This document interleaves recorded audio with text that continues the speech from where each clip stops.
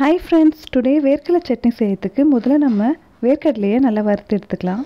பிளேட்டில் சேஞ்ச் பண்ணிடலாம். இது ஆறிட்டு இருக்கட்டும். கடாயில் ஆயில் ஆட் பண்ணிட்டு காஞ்ச மிளகா சிறிய துண்டு இஞ்சி சேர்த்துட்டு நல்லா வதக்கி விட்டுக்கலாம். மிக்ஸி ஜாரில் காஞ்ச மிளகாவும் இஞ்சியும் ஆட் பண்ணிடுறேன். புளி தேங்காய் கல்லுப்பு சேர்த்துட்டு ஃபஸ்ட்டு ஒரு கிரைண்ட் பண்ணிடலாம்.